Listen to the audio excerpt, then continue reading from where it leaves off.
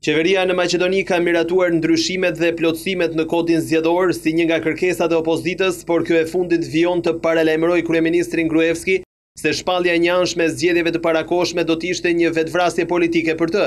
Në bazë të ndryshimeve të miratuara, diasporës i mundësohet e drejta e votës, përkufizohet fillimi dhe mbarimi i fushatës zgjedhore, termat e financimit të fushatës si edhe tarifat mediatike për spotet. Të gjitha ndryshimet i janë dërguar Kuvendit i cili pritet të mblidhet në pesëmbëdhjetë mars për t'i miratuar, edhe pse aktualisht opozita ka vijuar bojkotin e çdo aktiviteti parlamentar.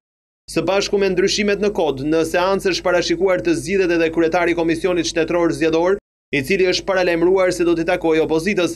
Gjithashtu është caktuar komisioni parlamentar që do të merret me mbikëqyrjen e listës zgjedhore. Sondazhet e fundit në Maqedoni nxjerrin fituese partinë në pushtet VMRO-DPMNE, nëse zgjedhjet do të mbaheshin sot.